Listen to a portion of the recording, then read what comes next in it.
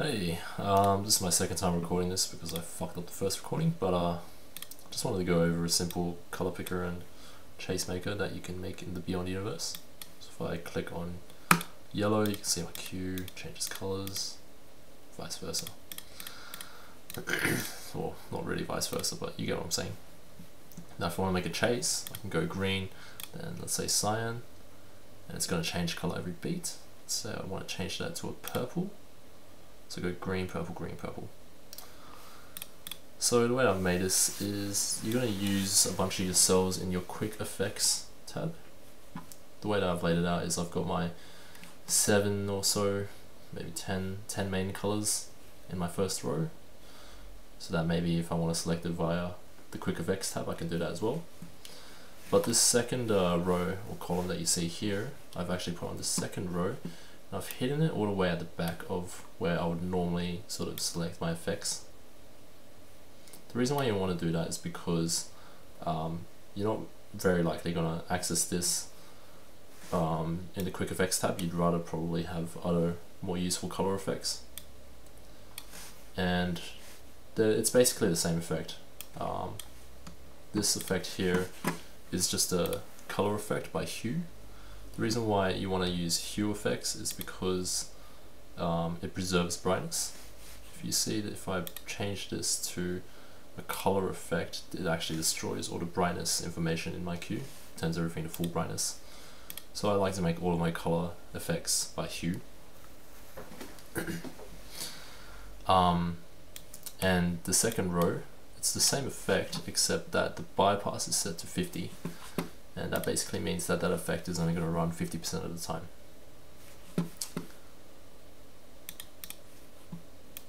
And of course you want to set that period to be at 2 beats, so that half of 2 beats would be 1 beat, so this will be on for 1 beat.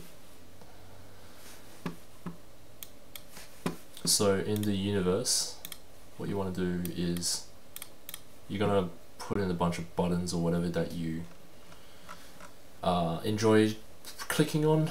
I think a button makes more sense than most things. Um, and in the inspector you can sort of see what I've done here. I haven't done too much. Uh, what I've really done is just set the uh, the label and the color of the button to represent the color that's going to go on to the effect.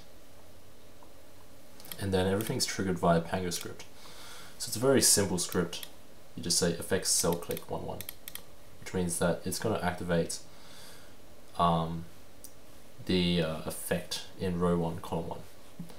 Um, or maybe deactivate it, depending on where it's active or not. Actually, I need to test that, to be honest. Yeah, deact deactivates it as well. So it just clicks that cell for you. And for the, uh, the second column, exact same thing, except you're now clicking on row 2, column 25, or whatever column that you've put that effect on for these reset buttons, this will basically press this stop button on the side of your effects rows and that stops all the effects in that row. So that's even simpler. It's just stop effects cell 1.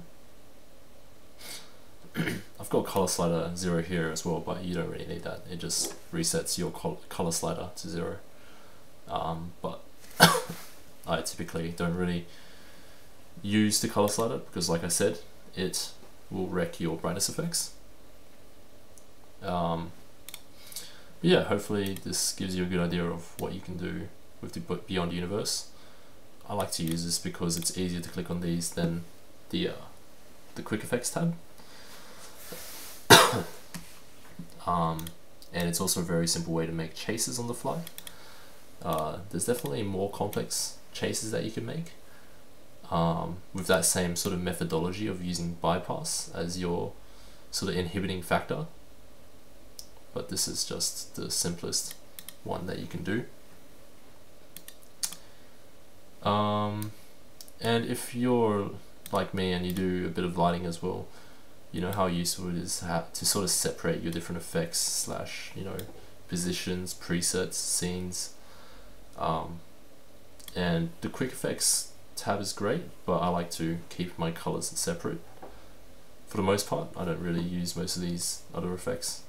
Um, So it means that I can allocate this to a different monitor or a different portion of my screen um, and free up some space for other things, other universes, um, or other, not universes, but other workspaces. Sometimes I just like to undock this and rearrange and then I can uh, put my quick effects somewhere else and put this somewhere else.